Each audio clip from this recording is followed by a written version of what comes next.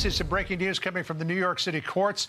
Judge Juan Merchan, who has been the presiding judge over former President Trump's so called hush money case, has made a determination that he is not going to go ahead with the September 18th sentencing date for the former president, that it will be delayed until after the election. Uh, this had been a really fraught decision yeah. for this judge because people had observed Sandra, that if he had have gone ahead with the sentencing, then uh, the former president could have accused him of meddling in an election. And if he decided to uh, delay the sentencing until after the election, no doubt he would get uh, hit by a lot of accusations that he was uh, acting in uh, Donald Trump's political interests as opposed to in the interests of justice. But the uh, breaking news coming to us just a couple of minutes ago Judge Juan Merchan, the presiding judge in the so called hush money case with Stormy Daniels, uh, has decided to delay the sentencing for the former president until after the November election. This is a big decision, Sandra. Obviously, the implications of the timing is huge, considering the upcoming election, November 26, many, many days and weeks uh, after Election Day. So this just in, and we're going to get brand new reactions shortly. Obviously, we're talking about the judge overseeing uh, former President Donald Trump's hush money trial. Um, this has obviously taken center stage to many other cases we've been watching this week. But the sentencing now, uh, John, delayed to November 26, as we learn brand new details. Uh, you know, the, the former president was speaking to this just a little while ago at his uh, New York City Trump uh, Tower headquarters, uh, saying that uh, this was a, a, deal, that there was nothing uh, that was wrong with it legally. Now, don't forget that the Manhattan district attorney decided to bootstrap that case, which would have been a misdemeanor, to the commission of, or possible commission of a federal crime, election interference, or, or at least affecting the outcome of, of an election and uh, turned that into a felony. And in doing that, he got around the statute of limitations. Uh, and uh, the jury came back with the verdict that the former president was guilty on all counts. But he will not. We're not going to learn about uh, the penalty that will be imposed in this case, if a penalty is imposed at all, until sometime after the election. And if the former president wins the election, Sandra, that could potentially change the outcome of literally everything. Um, all right, if you're just tuning in now, we just got word that the judge in this hush money case has delayed former President Donald Trump's hush money sentencing until after the election. You can see the date on your screen there is November 26. John, um, just looking at the court document here and making my way through it to see if there's any further details that would be pertinent. But obviously, the news is that this will be happening after the election. Uh, John, there will obviously be political debate and conversation around this in the coming days and weeks. Yeah, there's no question. Again, as I said, the um, the decision by the judge was uh, fraught, uh, and he probably was going to face criticism no matter what uh, decision he made. Again, if he had decided to go ahead with the sentencing and uh, even sentenced uh, former President Trump to jail time, which a lot of people thought mm -hmm. would be the outcome of this, then there would be a great hue and cry from the Trump campaign and his supporters that this was the judicial system interfering in politics, but that if he waited, he would probably get um, a, a, a, lot of criticism uh, from Democrats saying, well, wait a second, uh, this was supposed to be. Um, examining the rule of law and, and carrying out the rule of law, not taking into consideration the political fortunes of a, of a, uh, of a presidential candidate. Uh, joining us now by phone is Jonathan Turley. Jonathan, jump on in here on the breaking news as the former president, we know, as we learned weeks ago, uh, moved to delay the sentencing for this hush money scheme until after Election Day, and it looks like the judge has decided to do so. Your reaction? Yes, and uh, forgive the bells in the background. I'm on campus. It's it's not signaling this opinion. I the the decision is not surprising in two respects. One is it was always controversial to have the sentencing before the election. And the judge clearly did not feel comfortable that he was ready to do so. But the second reason is the reason for that discomfort. The Supreme Court decision presented some very serious questions about this trial. And the judge knew he would be subject to an appellate review.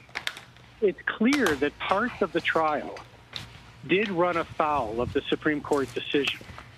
He allowed testimony of people like Hope Hicks to be entered, and that clearly fell within uh, the privileged uh, aspects of the immunity decision.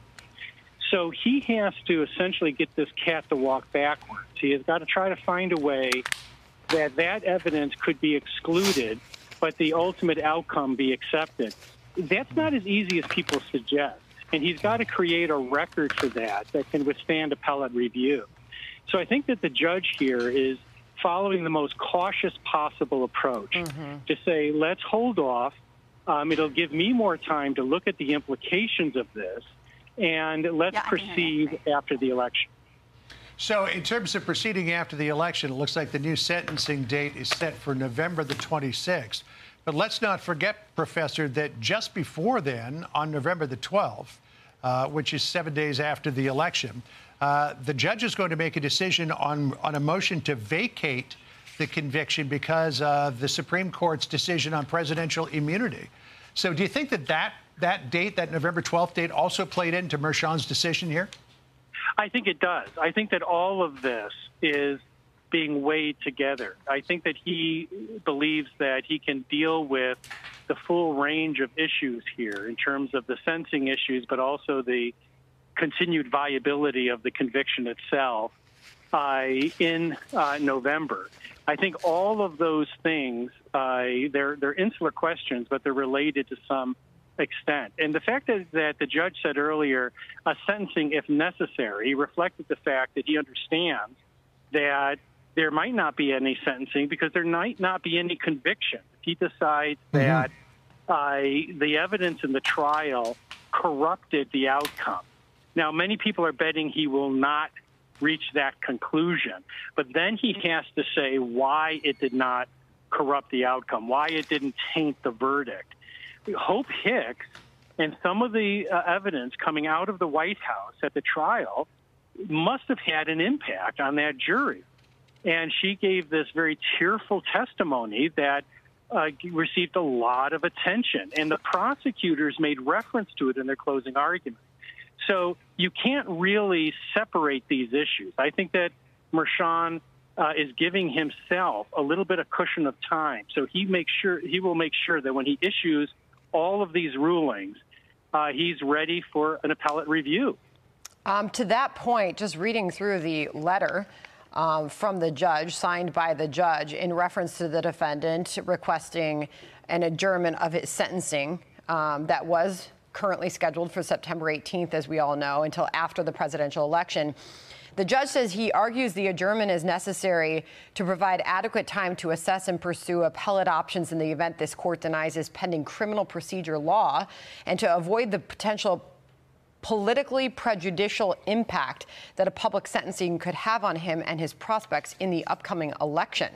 Um, he goes on further and, by the way, signs this letter where he ultimately makes this decision, saying this is not a decision the court makes lightly, but is the decision which is the court, in the court's view, best advances the interests of justice. Jonathan. Yeah, it's a sort of an ironic passage because I, many of us questioned the rush to have these trials and proceedings before the election.